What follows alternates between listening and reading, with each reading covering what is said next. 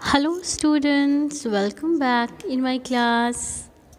This is Shaista Perween and today I am back again with chapter number 12, the machine age. The topic which we are going to discuss today is mass production. Mass production means producing large quantities of goods at a low cost in factories.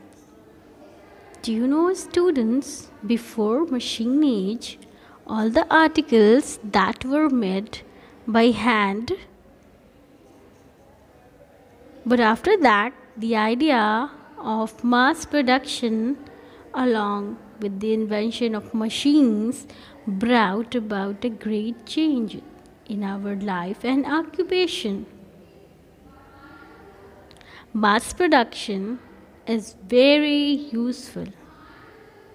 A large number of articles can be made in a short duration of time. Within a very short span of time, large number of goods are produced.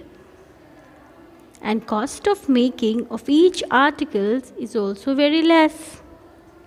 So hundred of workers work in a factory on machines to produce goods on a large scale.